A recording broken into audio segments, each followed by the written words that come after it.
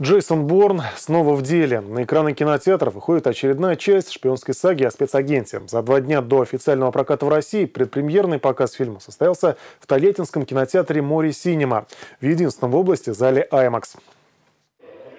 Первый и единственный в Самарской области зал IMAX был открыт в 2014 году. Размеры экрана впечатляют. Ширина больше 17 метров, около 10 в высоту. Все это в сочетании с системой многоканального звука и новейшим цифровым кинопроектором позволяет окунуться в атмосферу фильма и поверить в реальность происходящего на экране. Хакер – один из наших бывших сотрудников.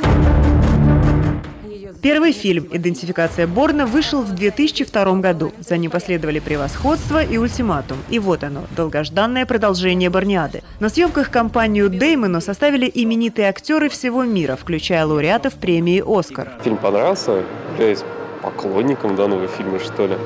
Вот. И очень интересно было узнать, какая будет концовка, и, и очень интересно, будет ли продолжение.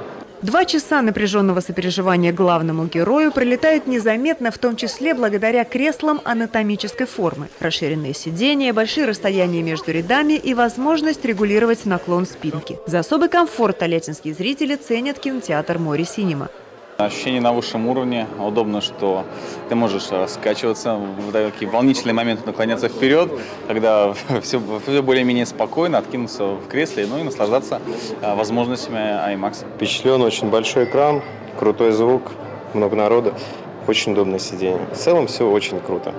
Предпоказ фильма собрал полный зал. В широкий прокат картины выходит уже сегодня. Оксана Штоль, Андрей Костомаха, Новости губернии, Тольятти.